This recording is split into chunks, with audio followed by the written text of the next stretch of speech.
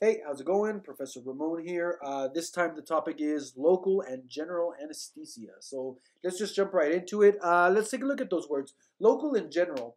Uh, consider the, what these terms mean. When something is local versus general, we use this term in steroids, like a local steroid versus a systemic or a general steroid. So if you're talking of a medication that's going to be uh, affecting generally or systemically, that's the whole body from head to toe while a localized medication is going to be something that's going to be to a particular region of the body. So in that case, I was saying steroids can be a localized steroid or a systemic steroid. In this case, anesthesia. Anesthesia can be a localized anesthesia or a general anesthesia. So we either going to uh, numb a particular region of the body, like for example, if we numb like with a nerve block, and you numb the nerve completely with a drug, and everything beyond that nerve now becomes completely numb. That would be a nerve block. That medication would be lidocaine. So look at how lidocaine can be injected directly into a nerve to cause a nerve block. That would be a local anesthetic, right? Or you can have lidocaine topical. It comes like a gel, and if you put it on the surface of the skin and you rub it in, it numbs that area of the skin. Uh, you might have seen this like when they start IVs on people that are very sensitive, they'll numb the skin and then you can put the IV on. Uh, that's also topical lidocaine. Uh, lidocaine can also come in an oral form. Look at the same drug. So on an oral form, I've seen it as a gel, like Orajel for children that are starting teeth. You put the gel on the on the gums, and the percentage of the lidocaine is very low. It's low enough to cause enough numbness for a baby to help them with the teething, but it's not a high enough percentage that it's going to start to numb the throat and cause issues with uh, swallowing, like high risk high risk of, uh, of aspiration. In this case, though, the let me see the another form, lidocaine can be given as a viscous lidocaine, and it's like a gel, and you have the patient swallow it. This is when we have patients that come into the emergency department and say that they're coming in with heartburn, heartburn that I've been having times three days. Well, this could not be heartburn. This might be a heart attack.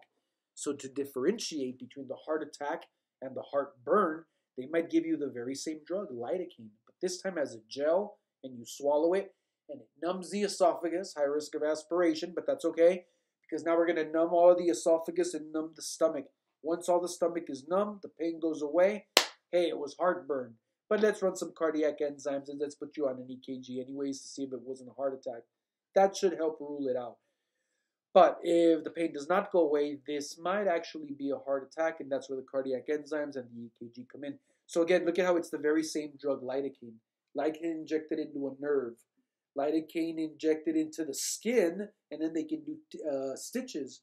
Or lidocaine into the gums, and now they can pull out a tooth. Or lidocaine orally, or lidocaine swallowed. There's also lidocaine that can be given intravenously, IV. So once you give it IV, it numbs the heart from the inside out because it's a sodium channel blocker. That's that's how it gives its effects. It's a sodium channel blocker. So in this case, for people that have heart attacks, and you know how a heart attack can be, a dysrhythmia can be either the heart is going too fast or the heart is going too slow. For those dysrhythmias where the heart is going too fast, they might have to give lidocaine IV to numb the heart and get it to slow down just a little bit. Look at that. The very same drug, very different forms, and the effect is either a numbing or a slowing down. You see that? So that's going to be the very first um, uh, prototype drug I believe you have for this chapter, and it's on page 267, lidocaine, also known as xylocaine. So let's continue with that since that's how I kind of kicked off the, the subject matter here. Dealing with a little bit of allergies. I don't know if you can hear me wheeze a little bit. Uh, lidocaine, xylocaine. Look at the therapeutic class. Anesthetic, lidocaine. It could be topical. Look at how it says antidysrhythmic. Yeah, a 1B. Don't worry about the classes. We'll get into that when we get to that chapter. But you just start remembering now lidocaine. That's one of those drugs in the crash cart that comes IV for heart attacks that are too fast. Which ones? We'll get there. We'll get there. So right now, just remember lidocaine. So it comes in many different forms, many different uses as an antidysrhythmic or an anti-anesthetic, which is what we're talking about. Pharmacological class, science talk, sodium channel blocker. So once you start blocking sodium channels, what is the effect? Numbness and a decrease in, in activity, and particularly in the heart. You see that? So down at the bottom, lidoc actions and uses. lidocaine, the most frequently used injectable local anesthetic. So local, look at what it says the next one. Block, because you can actually inject it into a nerve to do a nerve block. It keeps going and it says nerve blocks. Uh, spinal or epidural anesthesias. Look, you can do a lidocaine patch to numb that area of the skin. Uh, sometimes for tattoos, that's cheating, right? Where's the fun of that? If you have a tattoo, you got to go through the pain, right?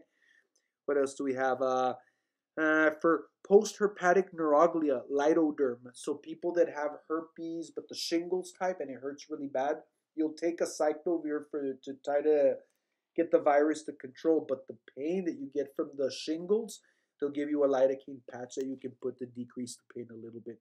A little bit further down, what else does it say? There's intradermal. Yes, so there's a difference. Infiltration refers to when the drug gets into the tissues. So in this case, we're purposefully infiltrating with a syringe with lidocaine, and you're just puncturing the skin and in, and infusing it directly into the skin. You're numbing the area.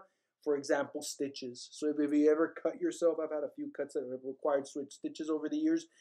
They'll inject it all into the skin. That's an infiltration of lidocaine to numb the area regionally, and now they can sew it and manipulate it. See that? We keep going. I'm still on actions and uses lidocaine, page 267. Second paragraph lidocaine might be given intravenously, intramuscularly, subcutaneously for dysrhythmias, chapter 30. We'll get there.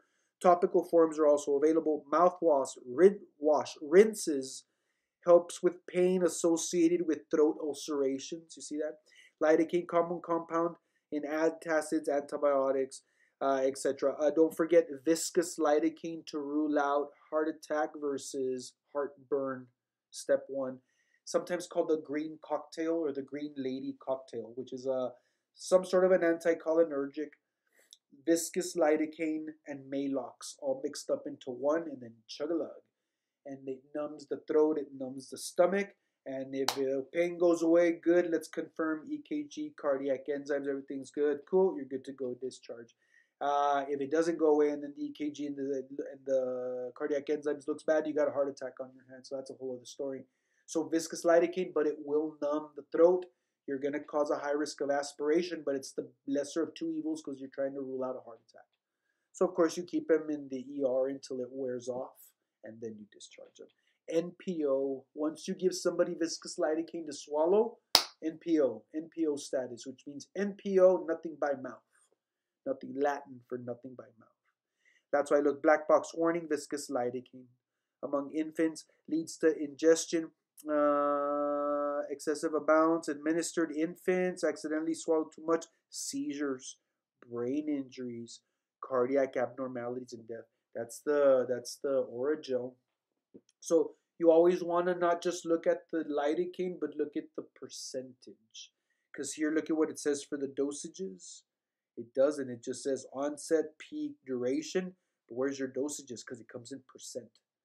So look at at the top. It's talking two percent. And the black box warning talks about a two percent viscous lidocaine but there's different percentages depending on the routes and the uses, so keep that in mind. Sodium channel blocker, lidocaine, it will be in your career for the rest of your life as a nurse. But let's go to the beginning of the chapter, because holy smokes, we just jumped right into the swimming pool there, right? Page 263. We were talking about local anesthetics versus, uh, what else is that? Have two of them here. Local anesthesia versus a local anesthetic.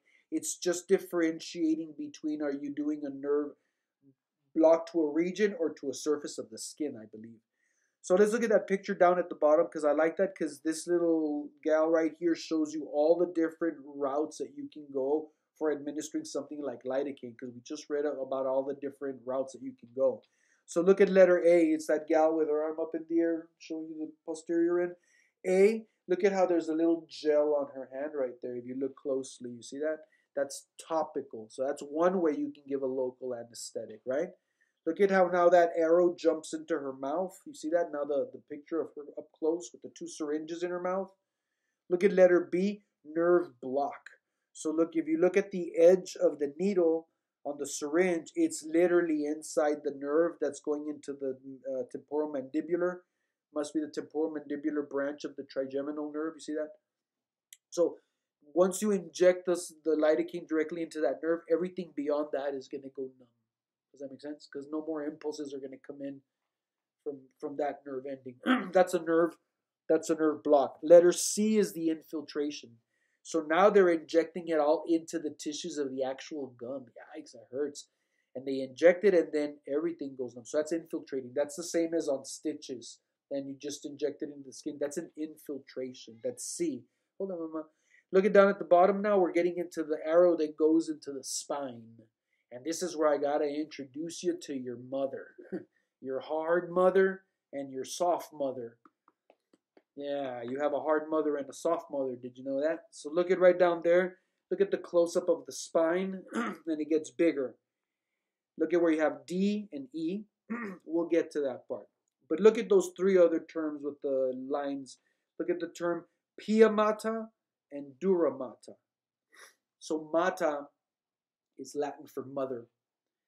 And pia means soft and dura means hard. So you have a hard mother and you have a soft mother. Both of them cradle the brain and the spinal cord. The soft one on the inside, identify pia mater, right on the inside. Then there's the spider web, the arachnoid space, and then after the arachnoid space, the dura mater, the hard mother on the inside. So it's brain and spinal cord. Soft mother, spider webs, hard mother. So anything below the hard mother, that space, that's going to be subdural space. You see that? Subdura, under the hard. Subdural space. Subdural hematomas. Subdural anesthetics. You see that? Versus, now let's look at the terms E and D. E saying epidural. Ah, outside of the dura. Epidural. Dura, the hard mother. Outside of the hard mother. Epidurals. That's a different cavity. That's a different space. So look at where the epidural is going outside of the hard mother. And then, of course, there's spinal, but spinal can also be put, I want you to write it in your book there, subdural, because it is under the hard mother. That is into the subdural space on letter D. So look at that, a quick refresher on your anatomy. And I bet you didn't know. Did you remember you have a soft mother and a hard mother? So I call it the soft mother and your hard mother. so both of them take care of you, right? They both cradle in there, right? Good, good. Keep on moving to the next page. Down at the bottom, I like 264 at the bottom. It just explains the mechanism of action on the molecular level with the sodium channel blocking effects of lidocaine.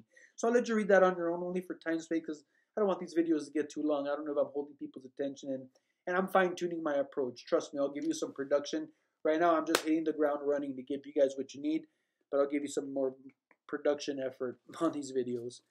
Uh, let's see, uh, page 264. What do we got up at the top? There you go, the different routes. Topical, infiltration, the nerve block, the spinal anesthesia, and the epidural anesthesia. So look on the right hand side. Obviously, the epidurals, it, once you infiltrate right there, everything below the spine is going to go down. You see that? so look at how we have the different formulations for each one. I'm not going to hit you too much with that, but just know the different routes and then it just gives you the descriptions of how the drugs affect based on those. So it's a great table. I'll let you read that on your own for time's sake. Uh, I like that table down at the bottom of 265. 19.2 selective anesthetic, local anesthetics. So it divides them into the classes the esters, the amides, and then miscellaneous. Don't think I'm going to hit you too hard with the what the chemical classifications. It's more the names, but just so that you know how they how they're in different groups. You see that? Uh, in particularly, let's see, I'm starting from the top. Look at how they all end in cane, benzocaine, chloroprocaine, procaine, novocaine. That's I'm sure some of you are familiar with novocaine.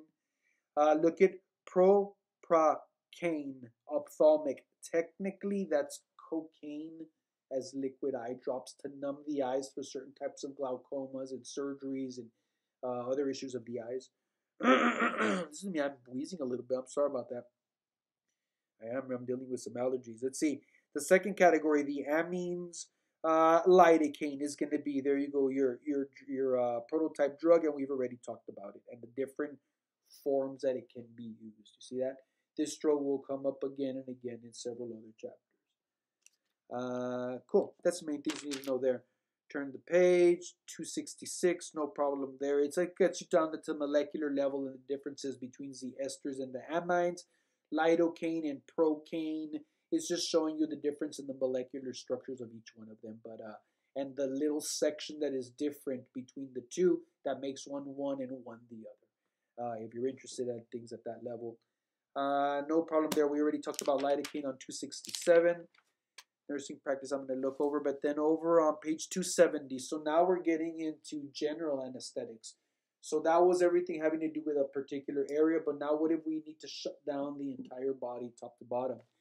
So there are different types. And look at the top of 270, table 19.3, stages of general anesthesia. So stage one, so we begin to sedate you. Boom. So we're going to get you out because of surgery. So stage one, you're starting to lose pain and the patient's general sensation might be awake.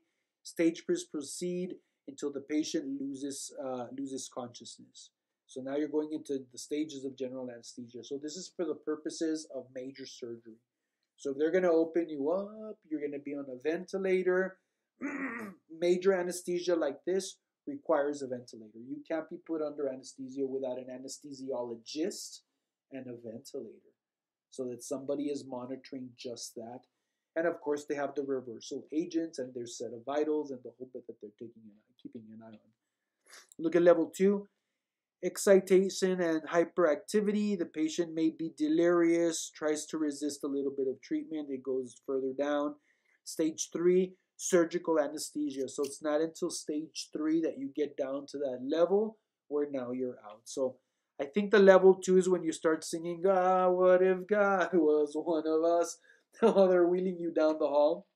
And then stage three is when you're officially out and ready to be, so that they can begin the procedure, right? So this is where skeletal muscles become paralyzed. Ah, right here. So there's going to be, there's particular medications of choice that they'll choose for this because it's well researched. They already know the effects of it. They already know the reversal agents. They already know all of the effectiveness and adverse effects to, to expect. So there's particular drugs already specified or, or, or um, in formularies to use for it. Look at level four. Now you've got paralysis of the medulla, of the brain responsible for controlling respiratory and cardiovascular. See, death could result. This is why you need the ventilator right here. So you could plunge down to those levels of sedation really on anything. If you start taking a, a benzodiazepine or Valium or something to that effect, but that's the levels that things progress before your brain actually shuts down and stops breathing altogether. So interesting, the first drug I'm very, very familiar with, down at the bottom of page 270, your first prototype drug that's a general anesthetic, propofol. Propofol, also called Diprivan, also known as milk of amnesia. This stuff will put you out, but this is a very unique drug, and I'll tell you why I'm very familiar with it. Um, as a side note, this is the drug that Michael Jackson died of because this was administered to him by a doctor in the home setting, and right there, the doctor's guilty, and I'm glad he lost his license. Propofol is never used outside of a facility because the facility needs to have a crash cart, a respirator, and people qualified to know how to use that to, to, to bring you back. That's the, the, the, the requirements for the use of this drug because that's how heavy it sedates you because that's what it's for. So right off the bat, to be administering this outside of the hospital, to prescribe propofol, to, no, no such thing. You can't because it requires a vent and a crash cart and people that know how to use those. Let me tell you why this is a great drug though. Propofol looks like milk. That's why they call it milk of amnesia. milk of amnesia because it puts you out, you know.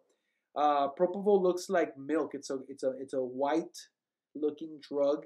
You give it IV, so you need to make sure you have a good patent IV. Usually, it's going to be a central line if they're going to put them out. It will knock you out completely, but the half life is extremely short. How short? You know that bell curve. Remember how we go the first half and the second half, absorption and then excretion, right?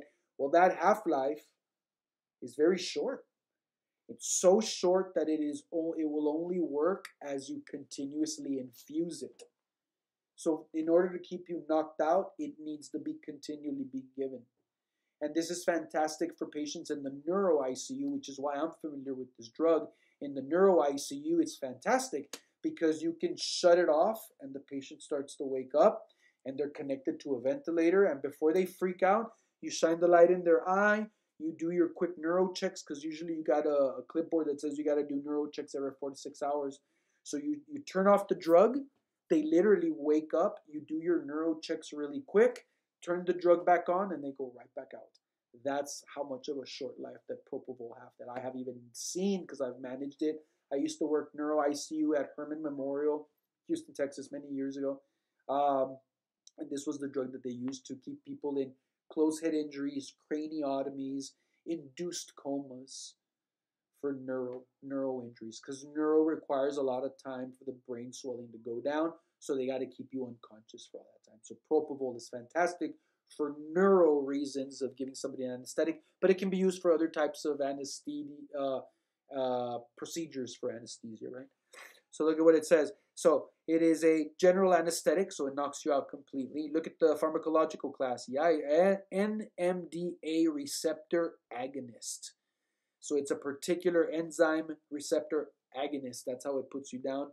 NMDA. I believe it's one of the few in this whole class, but don't quote me on that.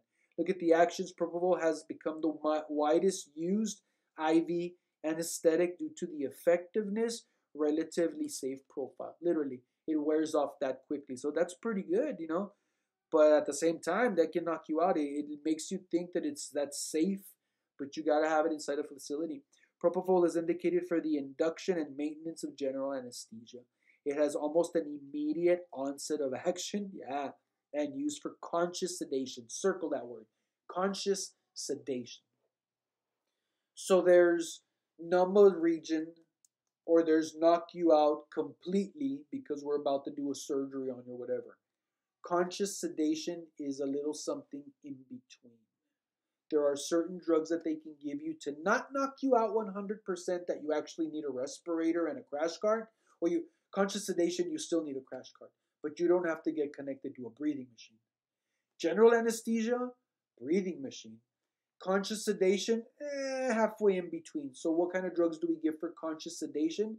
Benadryl IV, Valium IV, Versed IV, Propofol apparently, and probably in smaller doses, just a little IV push, just a little, which is probably what that doctor was trying to do, probably with Michael Jackson in the home.